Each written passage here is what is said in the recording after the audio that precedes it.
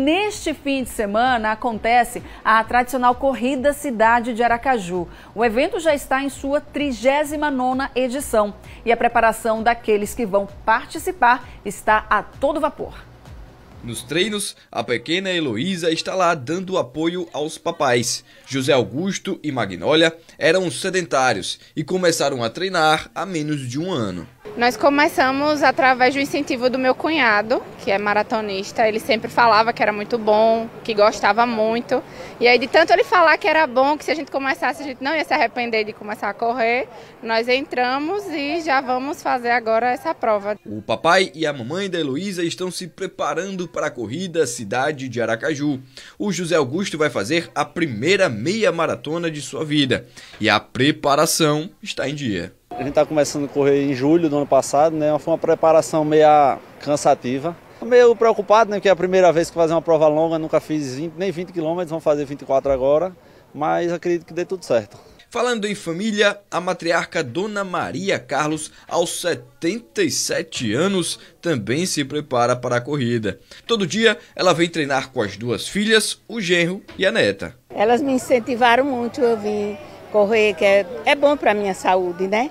Pela idade que eu tenho, meu, 70, meu 77, né? Já vou fazer o 78. Então elas acharam melhor eu vim fazer a corrida para me preparar, né? E agora preparar mesmo para essa corrida que vamos ter agora, né? Falando em primeira vez, o Fábio também vai encarar os 24 quilômetros da corrida de forma inédita. E olha que a preparação está a todo vapor. Foram treinos bem intensos aí, é, viajávamos e tudo mais.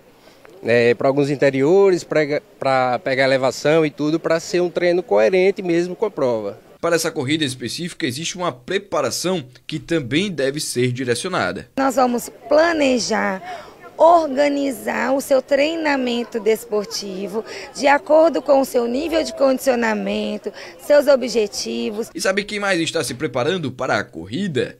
O nome dela é Jéssica Cruz. A repórter e apresentadora treina correndo nas ruas, mas também faz musculação.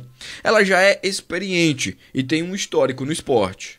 Eu corro desde 2021, que foi quando eu resolvi participar do desafio da TV Atalaia, das corridas da TV Atalaia, e desde então isso me inspirou demais para participar de outros desafios. Eu cheguei a participar em 2022 da corrida Cidade de Aracaju, fiz 5 quilômetros, depois fiz meus 10 quilômetros no ano passado e esse ano eu topei o desafio de fazer 24 quilômetros.